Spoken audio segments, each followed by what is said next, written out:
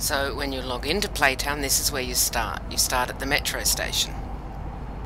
And then you run up these stairs, and I can never get up them without banging into the wall, but that's okay. You know, that's fine. Nobody saw me. It's good. And generally, the first thing anybody does when they come into the game is check out the playground and their apartments. Now, I'm on a Vespa, and this never ends well for me, but we'll see Yes, a little bit. If your graphics card can handle it, the graphics can be punched up a lot more than this, and they look fairly amazing, but my graphics card can't handle it. Just let me shove my Vespa back in my pocket. Now, the reason everyone heads to the playground first, including my friend Evie, is for satisfaction points. Um, you can see the smiley face at the top here. And the game's got an interesting mechanic that I've never seen in other games, so that probably exists. I haven't played everything ever. But when you've got your satisfaction points, which I should spawn shortly, there's a couple. You can trade them in, so I'm just going to level myself up. So instead of uh, earning pure experience or pure money for things, you earn these satisfaction points. There are things that you do earn um, fame and money for. I don't think you do earn money, actually. Anyway, I digress. I'm rambling. It's all good. So what you do is then you decide that I would like... Uh, I've got 76 points, so I would like, say, 25 fame points and 50 coins.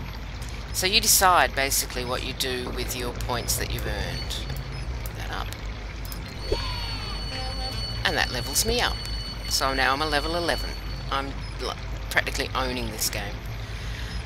So the playground works until the green up here around the uh, sad face is blue. Which I'm not going to do because it takes a little while. So I'll just spew some more. Um, so that's basically how you get satisfaction points. You can also make a wish, and what I'm going to win in the wishing well is a wall shelf, because I always win wall shelves. Make a wish, that costs a coin. Oh, a desk chair. I've only got four of those. So you basically start off with nothing, as in most games. And by earning these satisfaction points through various activities and um, predominantly on the playground, but also through mini games, and that's about it really. You can get yourself coined up, you can get yourself leveled up, and I can't show you a fancy apartment because I only have the starter apartment. I'm still saving up for a fancy apartment. So here's the loading screen. Here we go. Now, there's not a lot of customization available in the game. Um, there's a couple of things.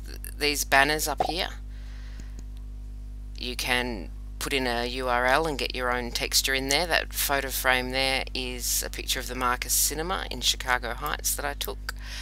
Uh, that's really about about it. But you can have friends over. I'll invite I'll invite Evie over.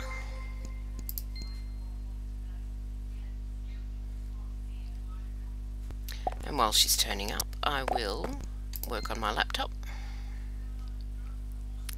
I've had fish for about two weeks and I haven't fed them, but they're okay. They're fine. Everything's good. It's so true to life you can even take out your rubbish. Look at that. Which earns you points. Just going to read a book while I'm in here.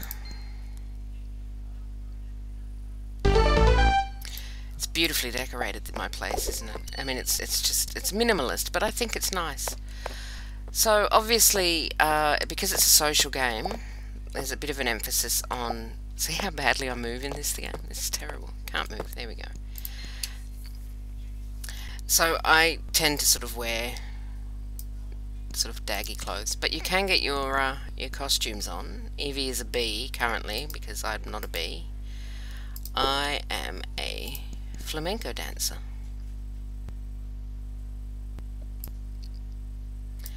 So there's a little bit of customization with the clothes. You can change the primary colours.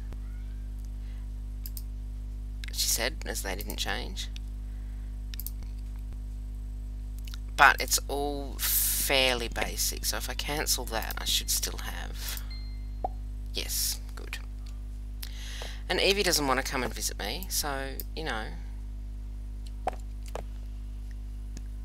just going to have a bath. You can have a bath every three hours.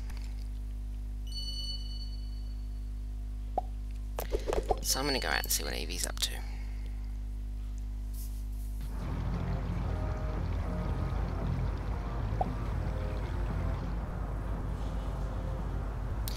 So it's still fairly limited in what you can and can't do. Um, and it's also quite a small map. Oh, there she is. Look at her showing off. She's got juggling balls, if I can get her in frame. The camera controls are a disaster. I'm used to Second Life camera controls that you can do what you like with. So while she... See what I mean about blowfish? She's got a blowfish head. Um, I will DJ. So there's a few, you know, there's things you can you can buy and play with, like the DJ set or the juggling balls, or you can get a guitar. I'll just tell Evie to bust out a guitar.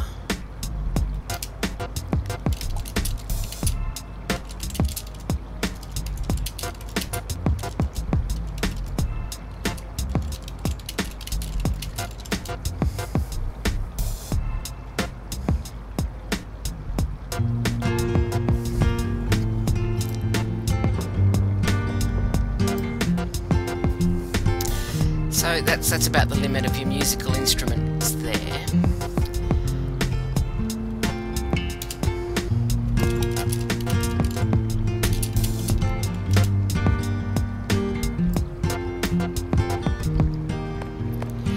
There's also mini games. Um, there's darts and backgammon and basketball. So I'm going to play some basketball now to show you how bad I am at playing basketball. I have not mastered anything in this game at all. But these are the things that you can do to earn yourself... Oh, look at that! Nothing but net! Um, earn yourself points to spend on apartments and clothes and stuff for your apartments and food for your fish if you're the kind of person that likes to feed your fish. Yeah, see, I, I just don't seem to have the, um, there we go.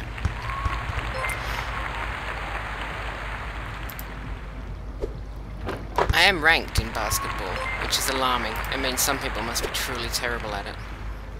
Oh no, so close.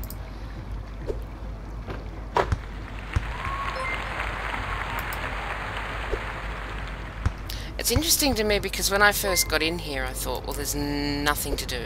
There's there's sort of nothing to, to you know, the mini games aren't that enthralling. Um, the city's tiny, really. For, for an online game, the, the city space is minute. But it's kind of just weirdly addictively fun.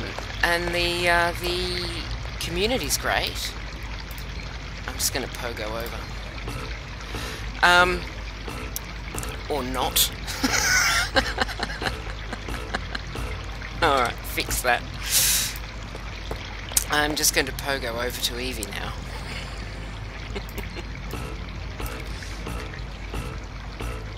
or did she leave? She can't have left. So rude.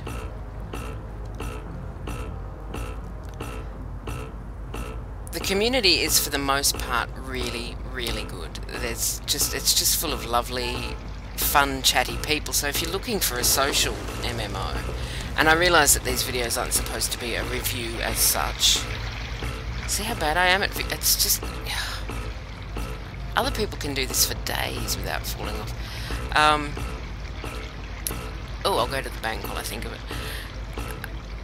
Ah, what was I saying? I know, yeah, I know these videos aren't supposed to be reviews. They're supposed to be me making a fool of myself.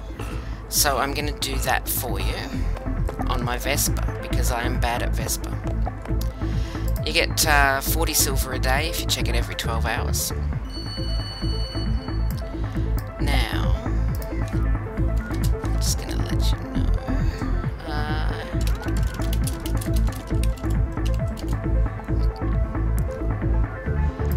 The other thing is skateboards. And I showed this to my fiance and he said that's not how you stand on a skateboard and I said it is if you're wearing heels. That's one of the frustrating limitations. Um, ladies only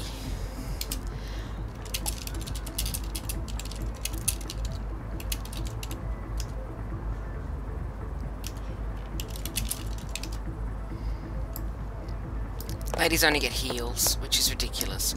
But I'm gonna vest for now. Sorry, Eva's making me laugh.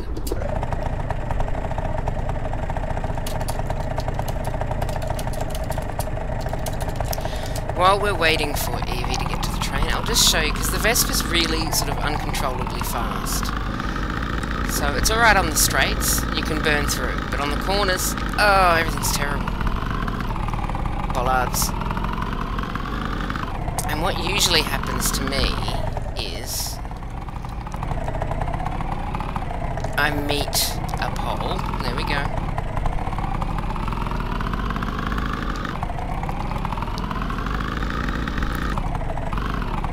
See, this is what I was saying, that the city is actually quite small. This is the, the edge of the city, so there's no going beyond that point unless you know where the glitches are.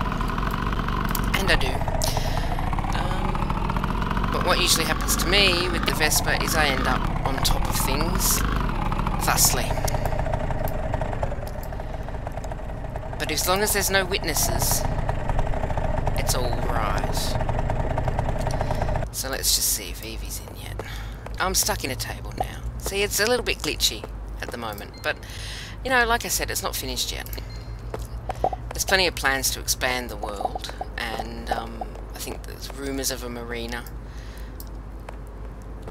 Oh, she's on the platform already. She's so speedy.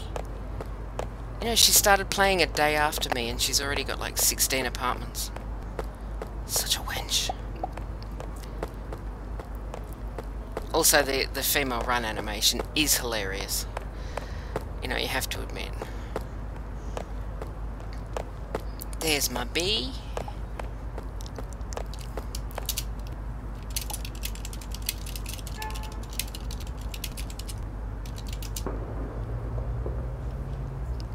So there's no voice chat or anything in here, it's all text chat. Um, you can add your friends, obviously, you can ignore people, there's all the, the usual functions of a chat room. Uh, you can dance if you want to. You can leave your friends behind. Because your friends don't dance, and if they don't dance, then they're no friends of mine. The dances are also hilarious. You know, a lot of the animations and everything needs smoothing. But it's um, it's like I said, it's weirdly fun, and I'm going to finish this video with the thing that I fell in love with, and that is the train. The first time I played this, I found the train, and I sat on it for a good, oh, six or seven hours. There's the button. It's all button operated. There we go. I didn't really sit on it for six hours. I do have a life.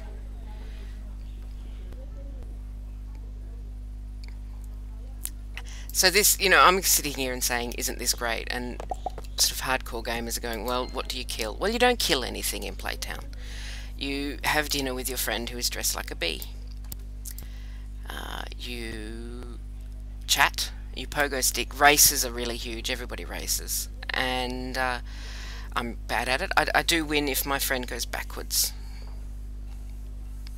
So anyway, that's that's kind of the the gist of Playtown. And you know, I mean, I've, I've shown you quite a lot of stuff. There's stuff that I haven't shown you, like the other apartments, and there's a club and a pub and darts and all the rest of it.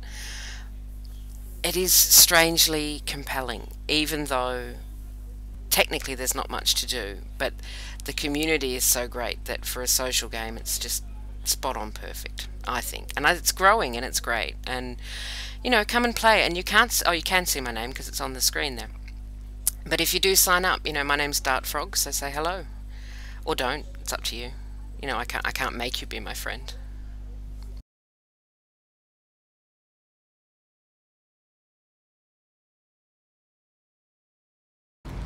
Still a little bit glitchy, and I'm up a tree. I've never been up a tree before in this game, so that's exciting.